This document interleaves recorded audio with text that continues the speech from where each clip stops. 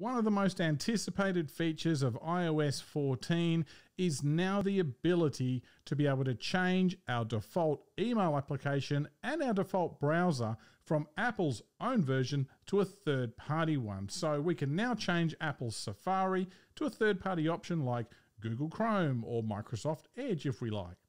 And yes, this change will work on our iPhones as well as our iPads. So obviously the first thing we need to have is iOS 14. So if you're not on iOS 14, make sure you go ahead and download that.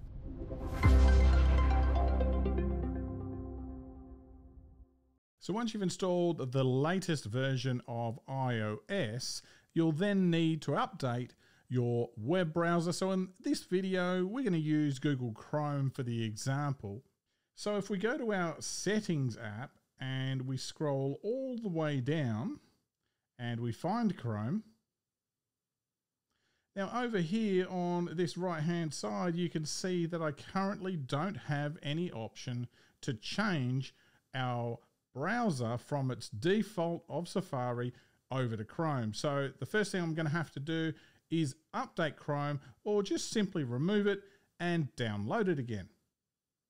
So that's what we'll do. So we will go and find our Chrome browser and we will delete it. Okay, it's gone. All right, and we'll download it again.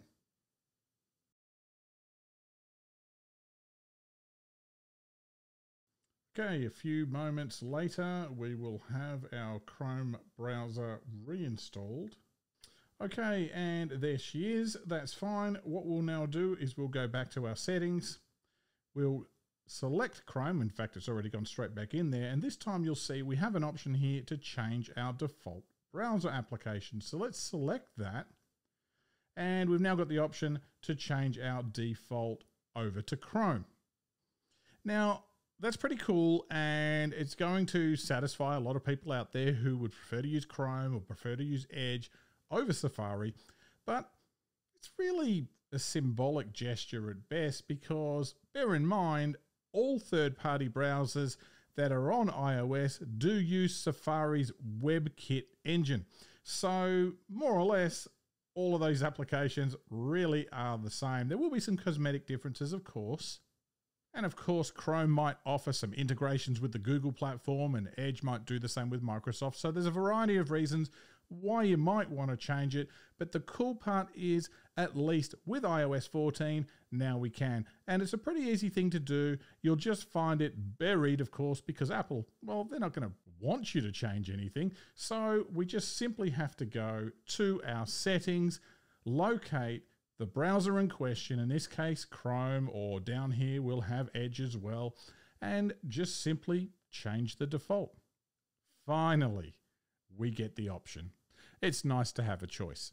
So I hope you've enjoyed this video. Don't forget to subscribe and hit that like button. And we'll see you guys in the next video. Have a great day.